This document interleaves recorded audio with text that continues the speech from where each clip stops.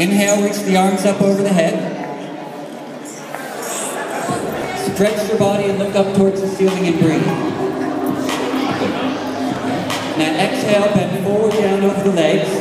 Keep the head down for a moment, stretching your back.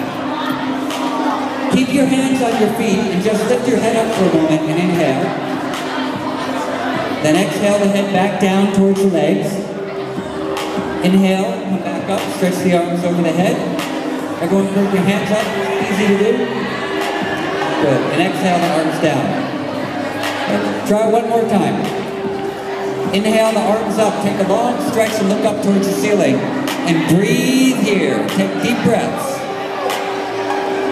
Exhale, bend forward, put the head down towards the knees and the hands on the floor. Inhale the head up, and then exhale the head back down again, stretching your spine. Inhale, stretch back up, reach your arms up over the head, take a long stretch, look up, and exhale the arms down. Okay, then sit straight in your chair, close your mouth for a moment, take one long inhale, Long exhale.